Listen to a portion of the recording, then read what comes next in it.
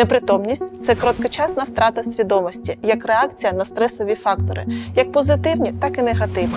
Непритомність не може бути тривалою. Найдовший час непритомності не більше двох хвилин.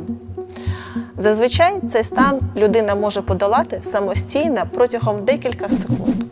Що відбувається в цей час в нашому організмі?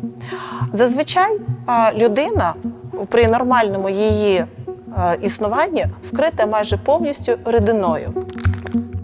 Під час втрати свідомості наш мозок дає можливість рідині схлинути для того, щоб перезавантажити свою роботу. Але наш організм має багато захисних функцій, в тому числі на цей випадок. Коли людина втрачає свідомість, рідина відхлинає від нашого мозку до нижніх кінцівок.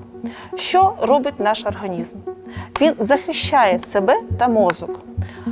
Такому випадку людина займає самостійне горизонтальне положення, тобто просто падає. Це допомагає потрапляти необхідної кількості кисню до нашого мозку. Що ми повинні розуміти? Що в цей час не потрібно людину підіймати з підлоги. Що ми можемо зробити? Необхідно трошки підняти її ноги приблизно на 30 сантиметрів для того, щоб забезпечити якомога більше можливості потрапляння кисню до мозку. Такий стан триває, як я вже говорила раніше, короткий час. Людина приходить до свідомості самостійно, їй не потрібна допомога. Потрібно звертатися до лікаря тільки в тому випадку, якщо під час падіння людина травмувала свою голову.